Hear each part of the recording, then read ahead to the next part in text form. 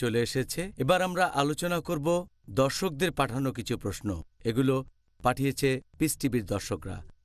তাহলে আমরা শুরু করি। প্রথম প্রশ্ন, এটা পাঠিয়েছেন আমাদের একজন দর্শক, যে অনেক মুসলিম দিনের বেলায় রোজা রাখে, তবে রাতে তারা অতিরিক্ত খাবার খায়। এটা করে রমজান মাসে। অনেকেই রমজান মাসে রাতের বেলায় অতিরিক্ত খাবার খায়। অন্যান্য মাসে তারা এত বেশি খাওয়া দাওয়া করে না। কম খাওয়ার কারণে লোকে যে মেডিকেল উপকারিতা পায়, সেই উপকারটা কি এই মানুষগুলো পাবে যারা বেশি বেশি খায়? এখন মেডিকেল উপকারিতার কথা যদি বলেন অনেকে ইফতারের পরে অতিরিক্ত খাওয়া দাওয়া করে। আমরা জানি রমজান মাসে দুর্ভাগ্যজনকভাবে কিছু মুসলিম ইফতারের সময় অতিরিক্ত খাওয়া দাওয়া করে থাকে, আবার সারা রাত ধরে খাওয়া দাওয়া করে, তারপর রোজা রাখে। এটা আল্লাহ তাআলার নির্দেশের বিরুদ্ধে। আল্লাহ বলেছেন সুরা আরফ অধ্যায় নম্বর সাত, আয়াত নম্বর একত্রিশ, আহার এবং পান করবে, কিন্তু অপচয় করবে না। আল্লাহ তাআলা অপচয়কারীদের পছন্দ করেন না। রোজার সময় লোকজন খাবার কেনে তারপর ইফতার পার্টি দেয়, সেখানে অনেক ধরনের খাবার থাকে, অনেক খাবার নষ্ট হয়। এভাবে তারা অনেক টাকা অপচয় করে, যেটাতে হয়তো গরিব মানুষের উপকার হতো। অবশ্যই ইসলাম ধর্ম এমন কথা বলে না। আর আমি আগেও বলেছি, আমাদের নবী মোহাম্মদ ইসলামের এই হাদিসটার উল্লেখ করা হয়েছে ইবনে মাজায় খণ্ড নম্বর চার। হাদিস নাম্বার তিন হাজার তিনশো উনপঞ্চাশ, যে আদম সন্তান তার পাকস্থলিতে যত খারাপ জিনিস রাখতে পারে, ততটা অন্য কোথাও রাখতে পারে না। একজন মানুষ সামান্য খাবার খেয়ে কর্মক্ষম থাকতে পারে। পাকস্থলিতে কি থাকবে? সেটাকে তিন ভাগে ভাগ করা যায়। এক তৃতীয়াংশ খাবার, এক তৃতীয়াংশ পানি, এক তৃতীয়াংশ নিঃশ্বাসের জন্য সেখানে থাকবে বাতাস।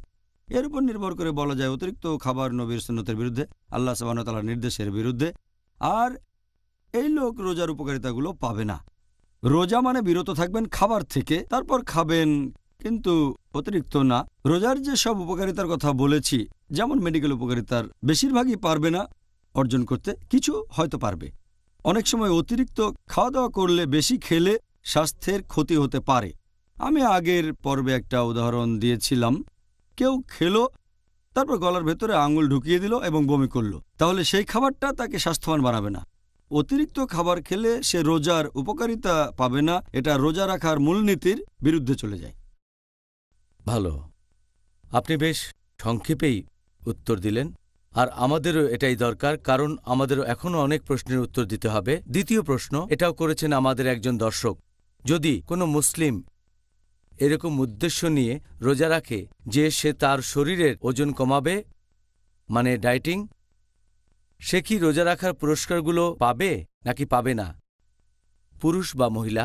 আপনি যদি রোজা রাখার পুরস্কারের কথা বলেন ইসলাম অনুযায়ী বেহেস্ত ক্ষমা পাওয়া ইত্যাদি। আমাদের নবী এটা বলেছেন তিরমিজিতে বুক অব ফাস্টিং হাদিস নাম্বার দুই যে আগের রাতে যে লোক রোজা রাখার নিয়ত করবে না, তার রোজা কবুল হবে না। নিয়ত করাটা আবশ্যিক। নিয়ত হবে আল্লাহ সবান তালার জন্য, আল্লাহর সন্তুষ্টি অর্জনের জন্য। যে লোক এই নিয়ত করবে না, সে অবশ্যই পাবে না এই ধর্মীয় উপকারিতাগুলো, আধ্যাত্মিক উপকারিতাগুলো সে কিছুই পাবে না। আমরা যে কারণে রোজা রাখি সেটা হচ্ছে তাকুয়া এ সম্পর্কে আগের পর্বে আমি বলেছি, এখন যদি মেডিকেল উপকারিতার কথা বলেন, কেউ হয়তো করছে ডায়েটিং, কেউ চাচ্ছে ওজন কমাতে, সেই উপকারিতাগুলো হয়তো পাবেন।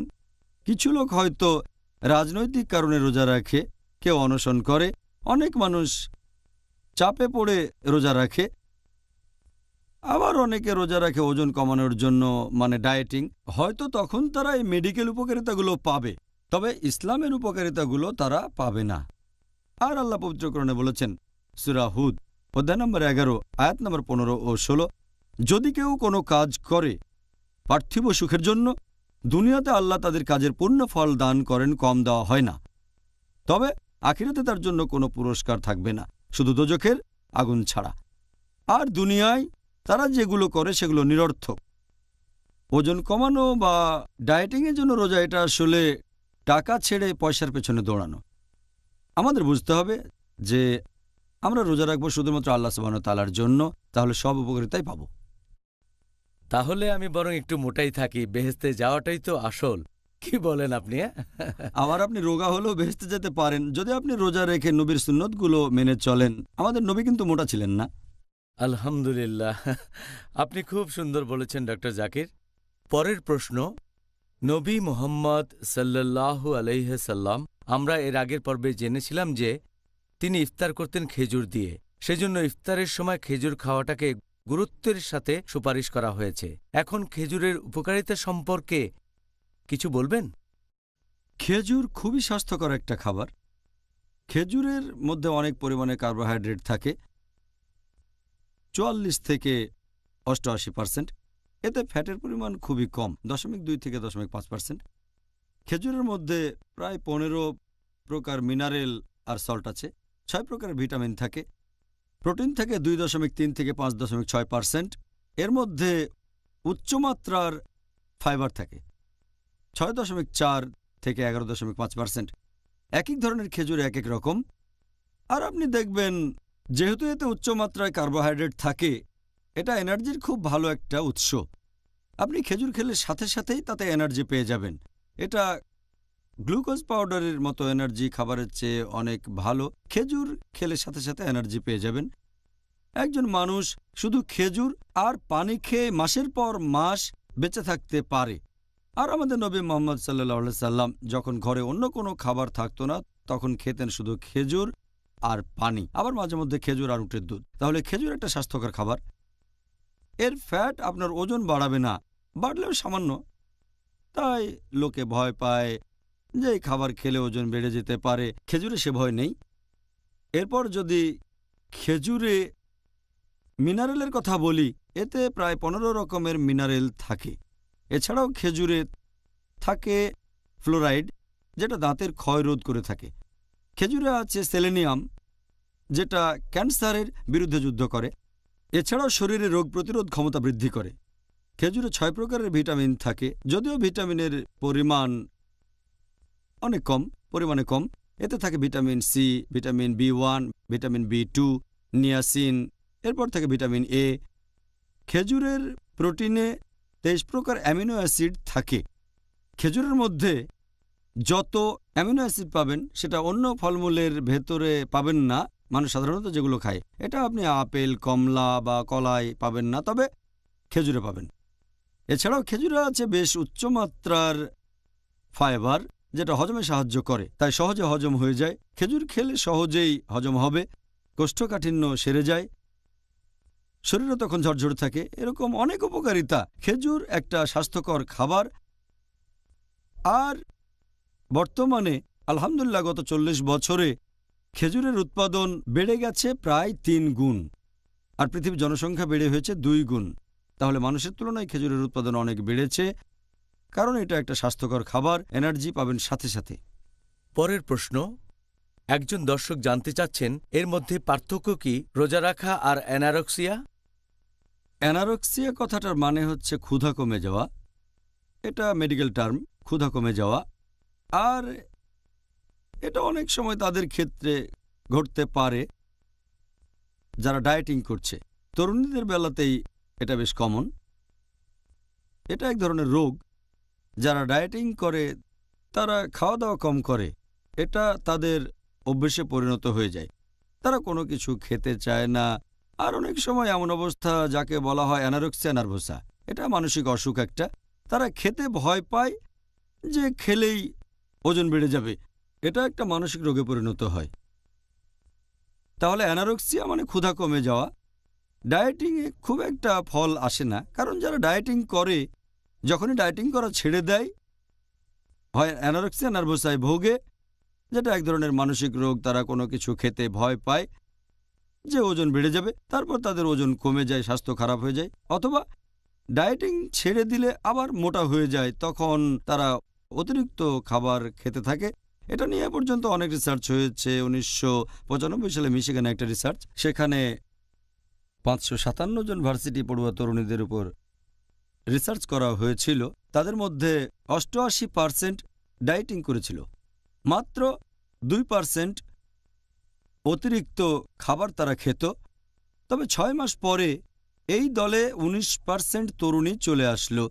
অতিরিক্ত খেতে লাগল। কারণ যখনই ডায়েটিং বন্ধ করবেন, আপনি তখন বেশি খেতে চাইবেন আর মোটা হয়ে যাবেন। অথবা আপনার অবস্থা হতে পারে এর উল্টোটা, অ্যানারক্সিয়া, নার্ভোসা, যে আপনি কিছুই খাবেন না, এতে আপনার স্বাস্থ্যের ক্ষতি হবে। সুবাহ আল্লাহ আল্লাহ যেন আমাদেরকে এটা না দেন। পরের প্রশ্ন, রোজা রাখা আর অনাহারে, এই দুইটার বৈজ্ঞানিক বিষয়ের পার্থক্যটা কি? রোজা রাখা বৈজ্ঞানিকভাবে আমরা করি চব্বিশ ঘণ্টার মধ্যে প্রায় বারো ঘণ্টার মতো। যখন শরীরে মজুদ করা কার্বোহাইড্রেট এনার্জির কাজে ব্যবহৃত হয়, সেটাকে বলা হয় রোজা। যখন এটা শুরু হয়, প্রথম দিকে আমাদের শরীর খাবার থেকে এনার্জি নেয়, যখন খাবারের পরিমাণ কমে যায়, মজুদ কার্বোহাইড্রেট থেকে যখন আমরা এনার্জি নিতে থাকি সেটাই হচ্ছে রোজা। তবে শরীরে মজুদ কার্বোহাইড্রেট যখন শেষ হয়ে আসে, পুরোপুরি ব্যবহৃত হয়, তখন কাজ করে হচ্ছে প্রোটিন। যখন প্রোটিন থেকে শরীর এনার্জি নেয়, সেটা অনাহারে থাকা। তখন দেখবেন শরীরের মাংসপেশি কমে যাচ্ছে, মানুষটা শুকিয়ে যাচ্ছে, তখন দুর্বল হয়ে পড়ে। বৈজ্ঞানিকভাবে যখন শরীরে মজুদ কার্বোহাইড্রেট শেষ হয়ে যায় আর প্রোটিন ব্যবহৃত হতে থাকে, সেটাই হচ্ছে তখন অনাহারে থাকা আর এই শরীরের জন্য মোটেই ভালো নয়। রোজা রাখা শরীরের জন্য ভালো, অনাহারে থাকা ভালো না। ওয়াও জাজাক আল্লাহ খায়ের সুন্দর বলেছেন ডক্টর জাকির। আমরা আজকে রোজা রাখার উপকারিতা সম্পর্কে জানলাম। আমি আশা করি আর দোয়া করি আল্লাহ তালার কাছে, যাতে করে আমরা রমজান মাসে রোজা রাখার সবগুলো উপকারিতাই অর্জন করতে পারি। আপনি আজকে আমাদেরকে রোজা রাখার যেসব উপকারিতাগুলো সম্পর্কে জানালেন জাজাকাল্লা খায়ের। জাজাকাল্লা শুক্রিয়া। প্রিয় ভাই ও বোনেরা আল্লাহ যেন আমাদের এই পবিত্র মাসের সবগুলো উপকারিতা অর্জন করা সৌভাগ্য দান করেন। আর এখন কোনো অজুহাত দিতে পারবেন না কারণ আপনারা এখন রোজা রাখার উপকারগুলো জানেন যেমন আধ্যাত্মিক ধর্মীয় শারীরিক মানসিক, মেডিকেল ইত্যাদি। এখন আর কোনো অজুহাত নেই। আশা করি আজকে ডক্টর জাকির নায়েকের বলা পরামর্শগুলো আপনারা গ্রহণ করবেন। আমাদের পরবর্তী অনুষ্ঠানে আপনাদের সবার সাথে আবার দেখা হবে। সেদিন আমাদের আলোচনার টপিক রমজান, অনুশোচনা বা তবা করার মাস। আসসালামু আলাইকুম ওরহমতুল্লাহি বারাকাত